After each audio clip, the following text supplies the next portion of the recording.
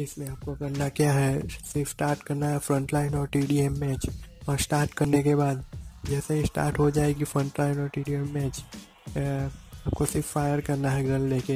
Hundred bullet fire करनी है gun लेके और जैसे ही हंड्रेड बुलेट फायर हो जाएगी, आपका मिशन कंप्लीट हो जाएगा। सिर्फ़ फायर करना है हंड्रेड बुलेट और मिशन कंप्लीट हो जाएगा। और वीडियो एंजॉय कीजिए।